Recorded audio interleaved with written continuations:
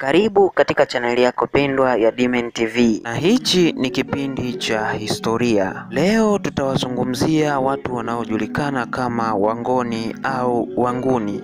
Kihistoria, Wangoni ni watu walioishi Afrika ya Kusini. Asili yao imetoka katika makabila makuu mawili, hasa kabila la Nguni na la Zulu.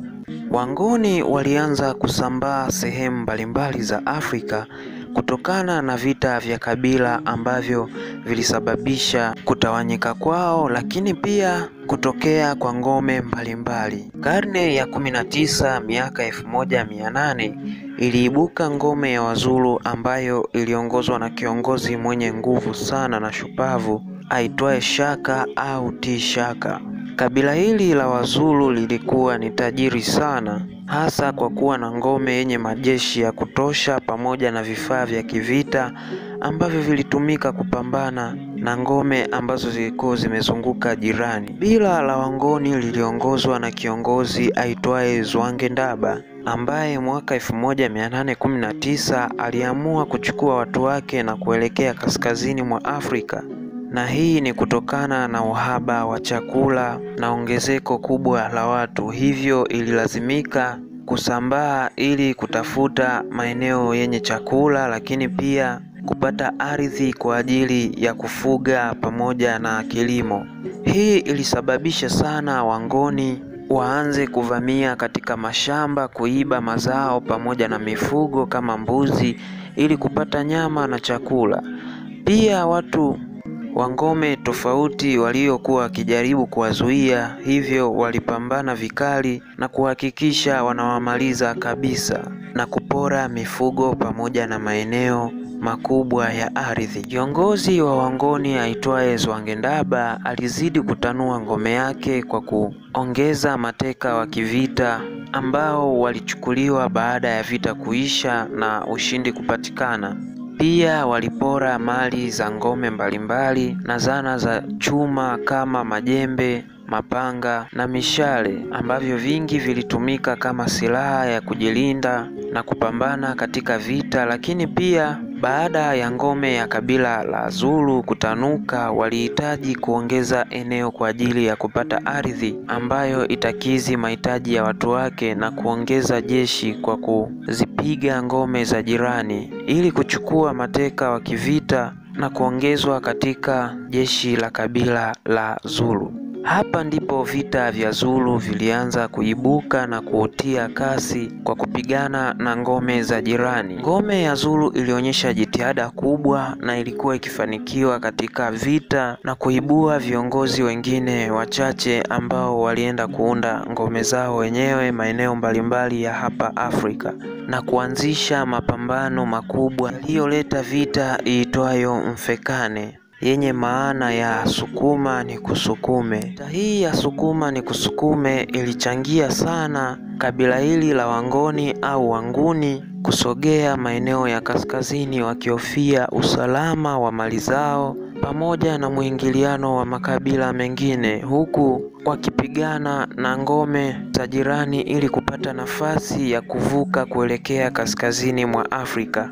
Mwaka 1835 Kiongozi Nzwangendaba pamoja na watu wa kabila la Wangoni walifanikiwa kuvuka mto Zambezi na baada ya hapo walionyesha dalili ya kuichoka vita mwaka 1842 na kuunda makazi ya muda karibu na ziwa Malawi pamoja na Tanganyika. Mfalme wa Wafipa ambaye alikuwa akiishi maeneo ambayo Wangoni walifikia ilibidi atengeneze uhusiano na Wangoni na kuishi nao pamoja kwa amani kabisa. Hii ilisaidia sana falme za Wafipa kutoanzisha vita dhidi ya Wangoni. Ndo maana kihistoria wanadai ya kwamba Mngoni na Mfipa ni watu marafiki sana, kwa sababu wamewahi ishi pamoja kihistoria na kufanya mambo mengi kwa pamoja. Kadri siku zilivyokuwa zinazidi kwenda, kiongozi Nzwangendaba kama kiongozi wa